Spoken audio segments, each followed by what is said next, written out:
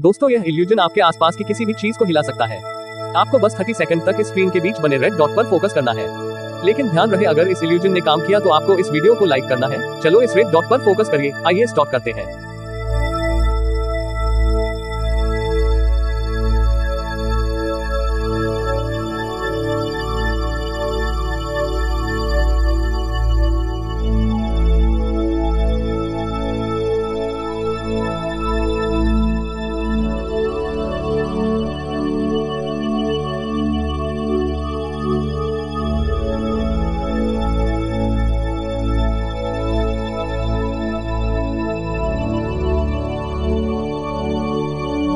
दोस्तों, अब 30 सेकंड पूरे हो चुके हैं। अब आप अपने आसपास किसी भी चीज़ को देखिए, वो आपको हिलती हुई नज़र आ रही होगी। अगर इल्यूजन ने काम किया है तो वीडियो को लाइक करें और चैनल को सब्सक्राइब करना न भूलें।